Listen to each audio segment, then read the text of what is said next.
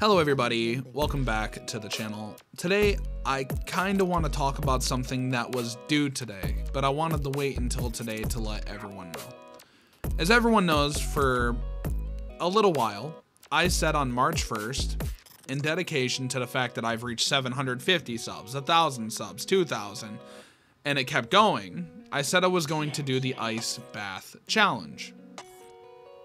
I'm having second thoughts and I don't think I can do it. And I'm going to explain why. The reason why I can't do it is because I get really, really cold easily.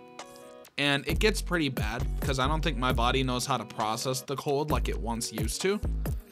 And when I get in a really cold environment, my body kind of starts to shake uncontrollably.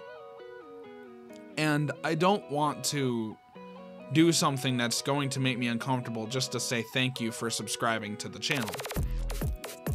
That's why I'm going to try to figure something else out to do or just say thank you and move on and then do other challenges down the line. But not only that, Wistful did the ice bath challenge, and I do know I came up with the idea for it first, but I want Wistful to have his own light. I don't want to try to take that away from him or make it out to be like I copied him or he copied me. He did it first, and I'm going to let it stay that way.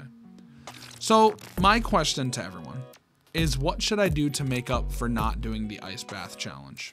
What is a challenge that I should do?